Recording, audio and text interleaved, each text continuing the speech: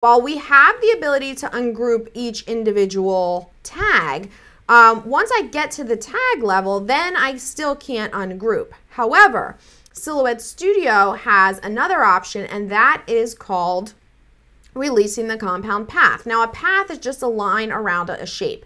So right now, what we have um, is this tag, and I'm showing you right on the border here, because this is all a compound path, meaning the all of the layers have been compounded into one. So think of it like a donut with a hole in the middle.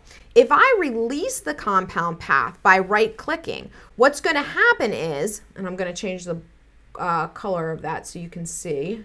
What's going to happen is I now have basically a stack of pancakes. I have the ability now to, to select the individual items in my um, shape.